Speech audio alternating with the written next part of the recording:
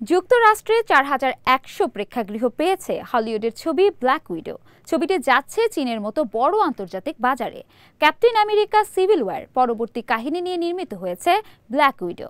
চমকের খবর হলো, হলিউডের ছবি ব্ল্যাক উইডো আয় করেছে একশো তিয়াত্তর মিলিয়ন ডলার।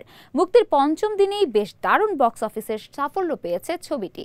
বিস্তারিত প্রতিবেদনে। You don't know everything about me. I've lived a lot of lives. Captain America civil war পরবর্তী কাহিনী নিয়ে নির্মিত হয়েছে ব্ল্যাক উইডো। ছবিটিতে রয়েছে সাবেক রাশিয়ার গুপ্তচরের বেড়ে ওঠার গল্প। যুক্তরাষ্ট্রে চার হাজার একশো প্রেক্ষাগৃহ পেয়েছে। হলিউডের ছবি black widow.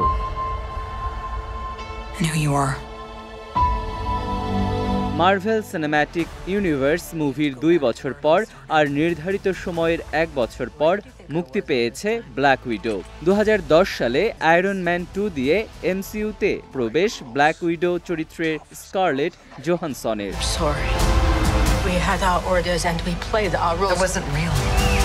হলিউডের সিনেমা ব্ল্যাক উইডো গত সপ্তাহে মার্কিন যুক্তরাষ্ট্র সহ বেশ কিছু দেশে মুক্তি পায় মুক্তির পঞ্চম দিনেই বেশ দারুণ বক্স অফিসের সাফল্য পেয়েছে ছবিটি করোনা মহামারীর মধ্যেও বক্স অফিসে বাজিমাত করেছে ছবিটি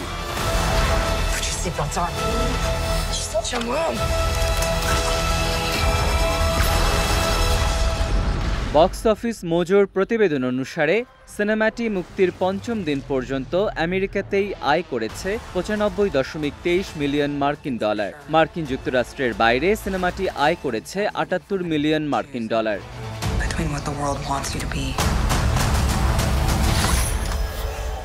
সিনেমাটির সবশেষ মোট আয় একশো তিয়াত্তর দশমিক তেইশ মিলিয়ন মার্কিন ডলার।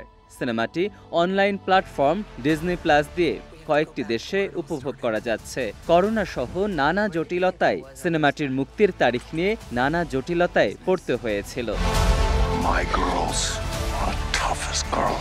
শাশ্বত মেহেদি বিজয় টিভি ঢাকা.